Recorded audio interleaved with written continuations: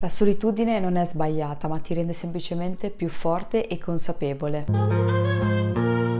Ciao a tutti ragazzi, benvenuti in questo nuovo video. Oggi voglio parlare di solitudine perché è un argomento che mi sta molto a cuore e secondo me è un fatto, non so, un momento da dedicarsi nella vita almeno una volta per conoscersi davvero perché è veramente una cosa molto molto potente secondo me. Spesso si collega la solitudine al, non so, star male, all'essere tristi, al non avere amici, che magari in tanti casi può essere così, però secondo me invece la solitudine deve essere come un passaggio obbligatorio per poi stare veramente con gli altri, perché se tu in primis non sei capace di stare da solo con te stesso, sicuramente non conoscerai nessuno che sarà capace e avrà voglia di stare con te. Molte persone che io anche personalmente conosco noto che hanno proprio paura a stare da sole, che si circondano sempre di persone, di attività da fare, di esperienze che magari neanche gli piacciono, però vogliono provare appunto per non stare da soli e questo secondo me è veramente un sintomo di paura, di non lo so, terrore nello star da soli, che secondo me invece bisogna un attimo capire che penso sia una cosa normale della vita, un po' come dire l'adolescenza, no? Nessuno può bypassarla e andare direttamente alla fase giovane adulto. Quindi secondo me bisogna un attimo mettersi l'anima in pace e anzi prendere questa cosa, questo avvenimento, non so neanche come definirlo, come uno strumento, perché è veramente uno strumento molto potente, appunto per capire veramente se stessi che cosa ci piace fare, che cosa magari abbiamo sempre fatto fino a quel momento, ma non perché piacevano a noi, ma perché magari piacevano alle persone con cui stavamo e ci dà in mano un potere grandissimo, ovvero di decidere chi fa veramente parte della nostra vita. Io personalmente ho avuto un periodo a 18 anni dove ho passato tipo un anno di solitudine, eh, diciamo che magari era l'ultimo anno di scuola, quindi comunque ero circondata da persone, anche se queste persone non erano amiche, ma erano semplicemente compagni di classe, professori, insomma l'ambiente scolastico normale, però però nonostante io fossi circondata da persone fisiche, io dentro di me ero sola e non è stato facile, è stato un periodo veramente molto brutto, anche perché era l'ultimo anno di scuola dove poi ho dato l'esame di maturità, quindi non ho neanche avuto quel momento di gioia da condividere con amici di che bello ho finito la scuola, però è stato per me un periodo veramente molto importante che mi ha fatto soffrire tanto ma mi ha insegnato tanto. E tornassi indietro non dico che lo rifarei perché sono onesta, avrei preferito farlo in un altro momento della mia vita forse, però alla fine mi è servito perché se non l'avessi vissuto ora non avrei certe conoscenze, certe consapevolezze che ho. E so che sembrano frasi fatte perché spesso le persone dicono eh vabbè ma tu parli così perché si dice sempre che non cambieresti nulla della vita perché se no non saresti come sei oggi, però nel mio caso almeno io parlo per me ovviamente come sempre nei miei video parlo per me stessa, io sono contenta di averle passate queste esperienze perché se no veramente non avrei tutta la consapevolezza che ho oggi perché io credo che siano i momenti più negativi che ti insegnano che quelli positivi, quindi c'è un modo per capire veramente se stessi e questo è stare da soli, ma soli, soli, soli. Poi vi dico la verità, io sono sempre stata una persona eh, che comunque è estroversa, nel senso che quando sono circondata da persone sono la prima che ama mettere discorsi, io anche se sono in un contesto di persone totalmente nuove, sono io quella che si avvicina agli altri per fare conoscenza, quindi questo me lo riconosco, però riconosco anche che mi piace molto stare da sola, infatti non so mai se definirmi introversa introversa o estroversa perché a seconda del contesto sono uno o l'altro, però ehm, amo tantissimo stare da sola, l'ho detto anche tante volte nei miei video, perché credo sia un momento per stare con me stessa, perché è come se mi dessi un autoappuntamento, non lo so, per fare cose che mi piacciono, che so che mi piacciono perché sono io a farle e magari in compagnia, non lo so, non, non avrebbero lo stesso sapore, ecco, tipo non so, una cosa che a me piace anche molto fare è fare shopping da sola, soprattutto cose magari per la casa, cose un po' così mi piace molto andare da sola. Quando invece sono con qualcuno magari mi faccio prendere oppure non do abbastanza tempo a quello che voglio guardare, tipo non so se sono con Loris, ad esempio col mio ragazzo mi succede spesso e volentieri che devo lasciar stare perché sennò lui si stanca.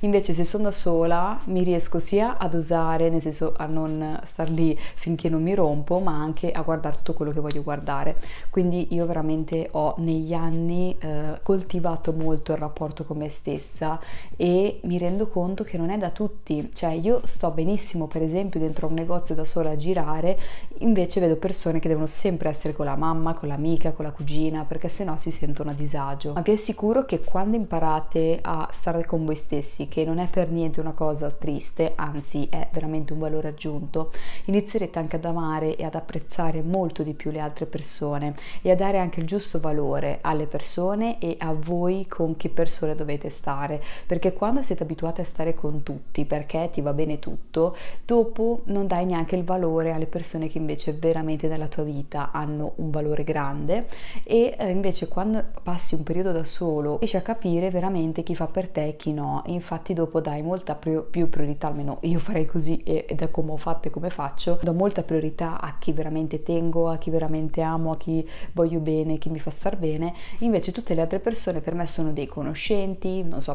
colleghi a lavoro, persone che ho nella mia vita, ma non sono per forza amici, perché non sono tutti amici, anzi io credo sempre che questo detto sia giusto, che amico di tutti non è amico di nessuno. Infatti eh, io mi rendo conto che non sopporto le persone che sono amiche di tutti, perché non mi reputo in grado di confidarmi veramente, perché non lo so, mi sanno di persone un po' false che si adeguano un po' alle situazioni, un po' come va comodo a loro. Infatti io negli ultimi anni ho smesso di confidarmi, diciamo, con persone che io vedo che sono amiche un po' di tutti. Amiche un po' di tutti intendo quelle persone che basta che escono, non importa con chi, uh, quelle che tu vedi sempre in giro, magari il giorno prima si parla di una persona, il giorno dopo ci esce insieme. Per me quelle sono persone di veramente poco valore, quindi se ci devo parlare perché magari abbiamo, non so, faccio per dire un lavoro in comune, oppure non lo so, dobbiamo andare a una festa in comune dove ci sono anche loro, non è che io le evito come la peste, però non darò ovviamente il 100% della mia mia persona a quelle persone,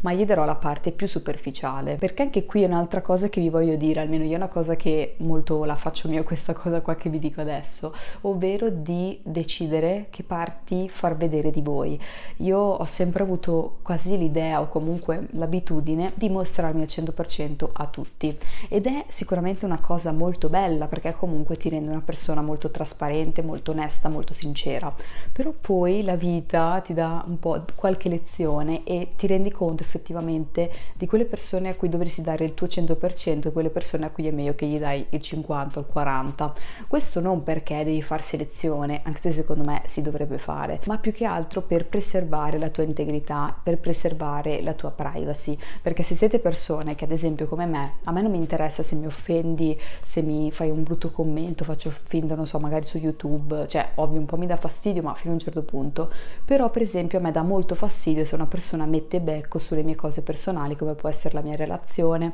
oppure mm, cose sì legate molto magari alla mia relazione. Se tipo avessi un figlio tu non me lo potresti toccare il figlio veramente che diventa una belva. Quindi quando so che nella mia vita magari ci sono delle cose che altri non capirebbero perché magari non sono nella mia situazione, non so, faccio finta, faccio un litigio col mio ragazzo, io non lo racconto a tutti perché magari quella persona mi può fare dei giudizi così a caso, a gratis, cosa che a me dà molto fastidio, ma non tanto perché io voglio averla vinta su tutti, ma perché credo che non ci sia il bisogno del giudizio. Quindi quando ho qualcosa, per esempio, che non mi non va, non so, faccio finta litig- litigo appunto col mio ragazzo, non è che sto lì a sbandierarlo a tutti, ma lo tengo per me perché tanto può capitare e poi andiamo avanti. Una volta invece mi veniva molto da confidarmi con le amiche, dal chiedere un parere e, e non è così giusto secondo me a volte. Certe cose è meglio tenerle private, soprattutto se si è persone un po' diciamo suscettibili da questo punto di vista. Quindi per tornare nell'argomento,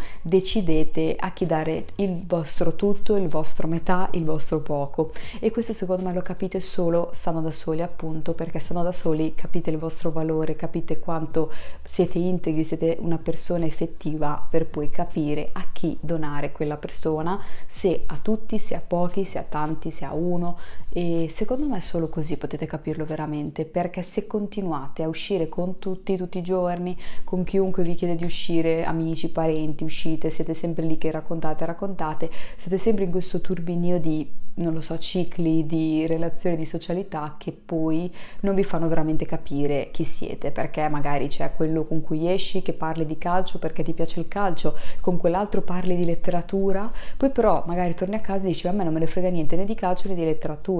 Invece, stando appunto un periodo che possono essere anche un'ora alla settimana, non dico sempre, però qualche secondo qualche momento per pensare e per dedicarsi un po' a se stessi per capire veramente che cosa ci piace. Il consiglio che vi do adesso a fine video, che non lo so, mi farebbe molto piacere se qualcuno di voi lo prende come spunto, come idea, è di pensare a una cosa che soprattutto magari quando eravate piccoli vi faceva bene, vi faceva star bene e magari provate a rifarla da soli nel vostro intimo. Io vi do qualche esempio, tipo a me piace molto scrivere, io amo scrivere il mio diario segreto perché amo l'idea di rileggerlo dopo tot tempo e con il sorriso ricordarmi di quel momento, di quel ricordo. Un'altra cosa che amo fare per esempio è cantare, io ho sempre cantato tantissimo, ho anche fatto un coro, da piccola facevo parte di un coro e ultimamente mi rendo conto che non lo facevo mai, un po' perché non so, convivo, quindi io non so cantare a volte mi imbarazzo un po' e poi non lo so, non trovo mai il momento. Invece ci sono quei momenti dove mi sono detta voglio riprendere ogni tanto a cantare, quindi mi cerco un video karaoke, canzone, qualcosa insomma che posso trovare su YouTube, mi metto lì a cantare a squarciagola e sto veramente molto bene. Oppure mi piace ballare con la musica nelle orecchie, oppure non lo so, mi piace mm, in generale comunque dedicarmi a qualcosa di solo mio, di qualcosa che è molto intimo. Quindi vi do questo consiglio consiglio di provare a farlo, di provare a riconoscere voi stessi di nuovo perché non so, spesso secondo me diamo per scontato la nostra presenza, ma non lo è e solo poi appunto riscoprendo come siamo noi stessi all'interno possiamo poi stare molto bene con gli altri perché dopo troveremo persone veramente affini a noi perché siamo noi i primi a conoscerci e a capire che cosa ci può piacere veramente. Anche perché veramente io mi sono accorta di quanto la solitudine o comunque il sapere come si è nel profondo ti porta poi persone che fanno veramente al caso tuo invece prima magari ti porta un po' di tutto un po' perché sembra una cavolata dalla legge dell'attrazione e tutte quelle cose lì però io un po' ci credo perché effettivamente mi rendo conto che nella mia vita, da quando ho capito che cosa voglio, effettivamente mi sta arrivando. Niente, io come al solito spero che questo video vi abbia un po' tenuto compagnia, vi abbia fatto fare quella riflessione in più, quel pensierino in più. Fatemi ovviamente sapere nei commenti che cosa ne pensate, se farete questa cosa che non fate da tempo perché magari appunto volete dedicarvi un po' di tempo a voi stessi lasciate anche un mi piace e se vi va iscrivetevi al canale se volete rivedere altri video simili. Ovviamente se avete qualche tematica qualche consiglio qualche cosa che volete che trattiamo in qualche video futuro ovviamente anche qui lasciatemi tutto nei commenti che ovviamente leggo sempre tutti. Ci vediamo molto presto con un altro video quindi alla prossima e ciao a tutti